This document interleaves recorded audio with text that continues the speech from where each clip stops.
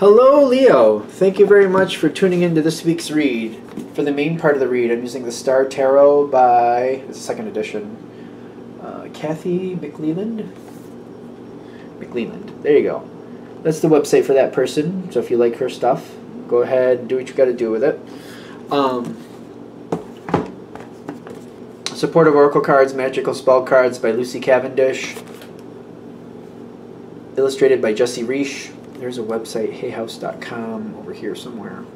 It's a 2002 deck, but if you want to search it out, I am very confident Hay House still exists. I just think they've changed their website. I can't remember what it is, but if you search Hay House, I think especially Hay House Calendar or Hay House Psychic, I think you'll find it very easily.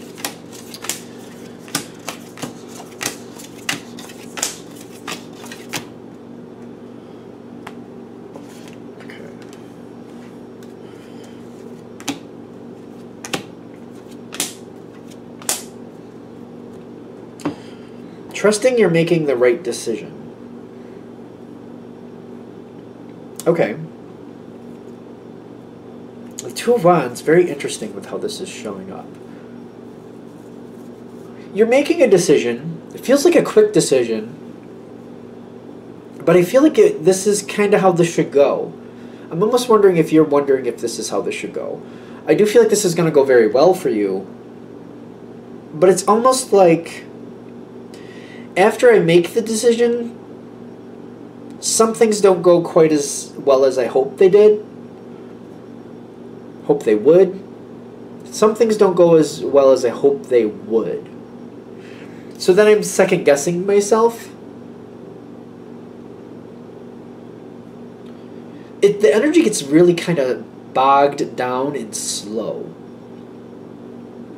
Um, and I'm questioning, like, oh boy, what did I do? Like, oh, was this the best idea for me?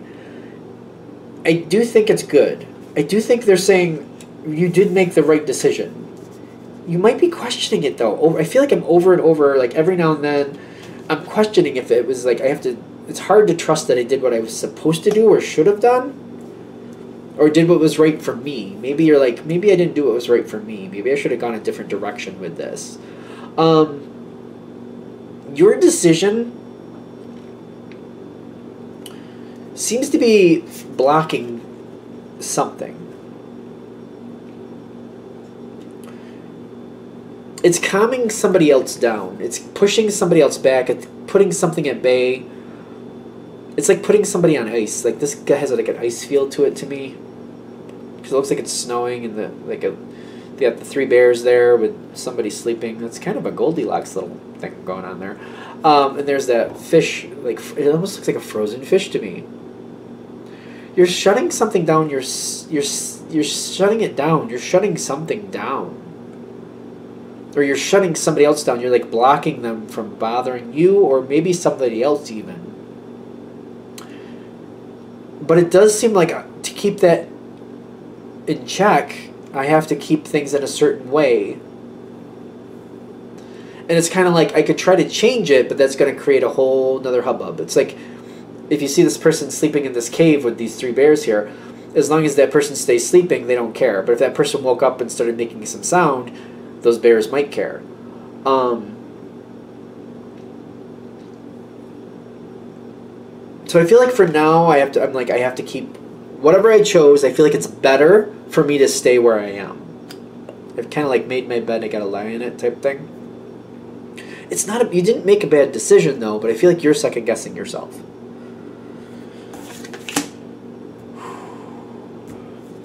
Whatever you chose, it seems like it has a season to go through. A season could be anywhere from three months to like three years, just to be fair. Because when I'm getting season, it doesn't have to literally be like a three month season. But it doesn't seem like it's for the rest of your life. That's where I'm trying to go with it. Ten of Pentacles with the Hierophant, like, it's kind of like I chose what I chose and now there's certain rules I have to abide by because I chose what I chose.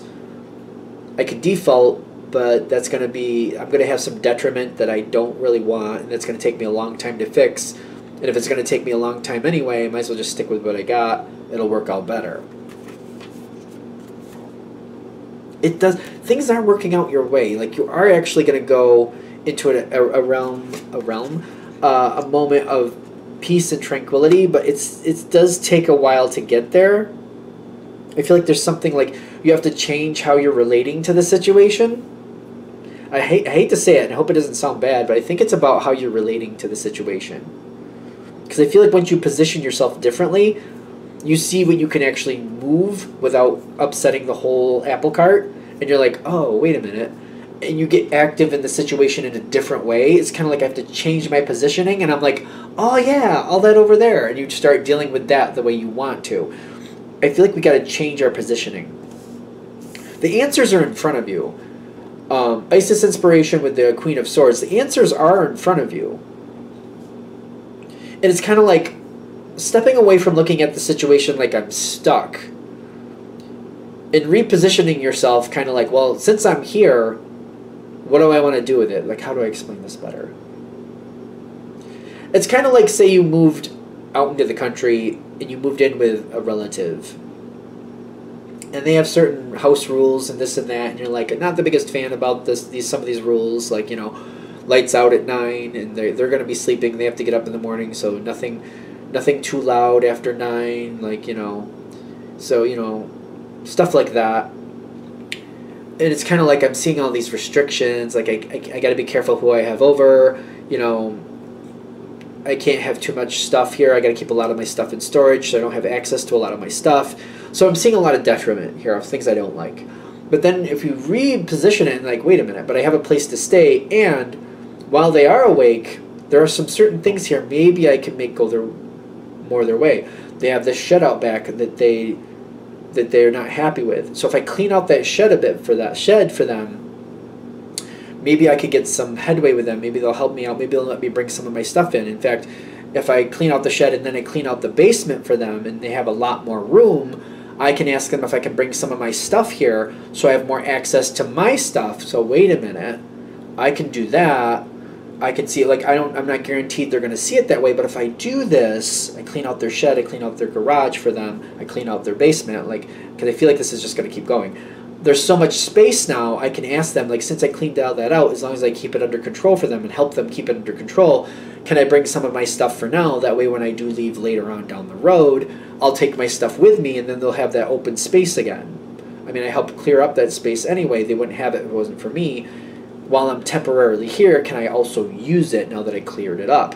That's like the, the changing of positioning. Like, wait a minute, there are possibilities here. Wait a minute, I can make this go to more to my liking. Because I feel like you're you're just at this spot where the ISIS inspiration is saying, give it a minute, let's think about it for a second. There's a way for this to go your way more. There's a way for this to be better for you. I feel like um, whatever you're adding to the situation, Leo tends to have a lot of energy. Tends to. I'm not saying it's always the case, but tends to.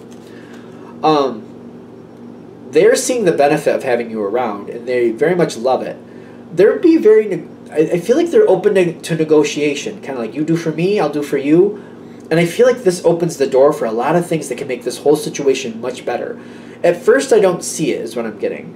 I'm not thinking we have all this room for movement or possibility but they want to work with you, and I feel like this does work well for them as well for you. Um, both you and them can make out greatly. Uh, possibilities, possibilities all over the place.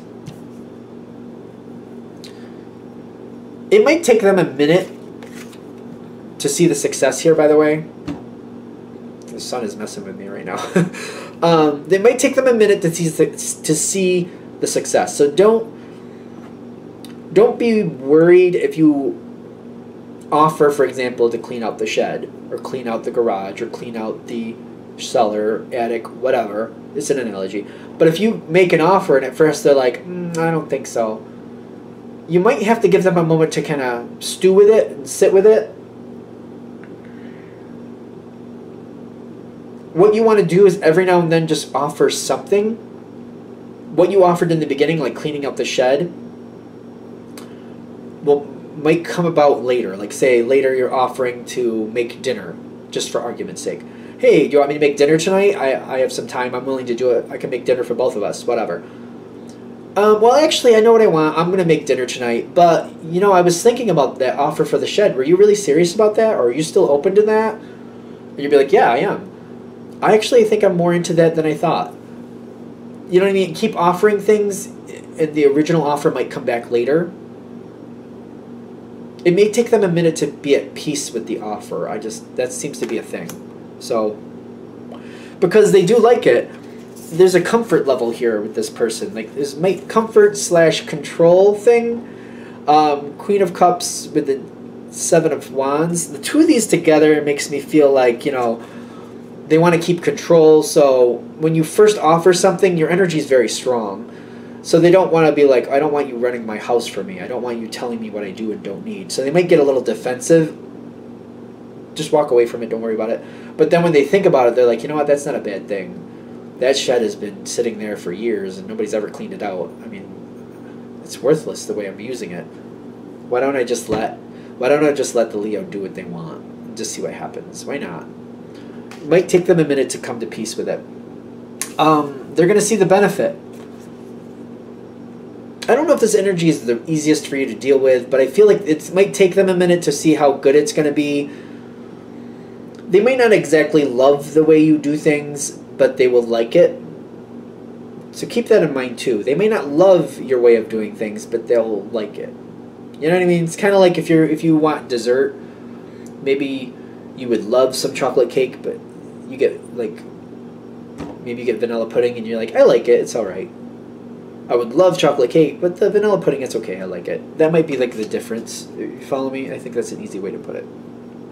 You follow me? I'm asking you. Camera. Um, things will go more in your favor. Just give it some time you did make a good decision. That's what they're saying. You did. Just give it some time to shape up a little bit more to your favor. Things become more in your control. Trust that it's going to go more your way. Trust that opportunity is coming your way. Trust that more control is coming your way. More opportunity that you can make something with as you desire. All right. I'm going to shut this down here. I hope that helps. Thank you for watching. If you'd like a direct reading from me, shoot me an email, jamesforastral at gmail.com. That's James the number four, astral at gmail.com. If you're interested in the donation information, that's below. Same email. Thank you for watching and have a great day.